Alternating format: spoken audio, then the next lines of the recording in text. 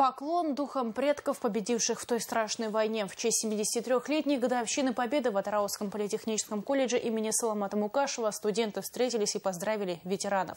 На торжестве подрастающее поколение представило ветеранам концерт на патриотическую тему, где звучали душевные песни военных лет. Студенты колледжа показали весь спектр своих творческих навыков, чем обрадовали зрителей. Творческий кружок студентов пятый год подряд делает такой подарок ветеранам.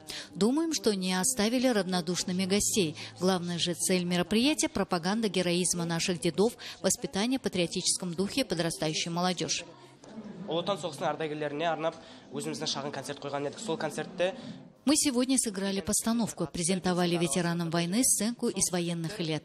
Старались передать трудности того времени. Считаю, что это у нас получилось. Мы очень уважаем своих ветеранов.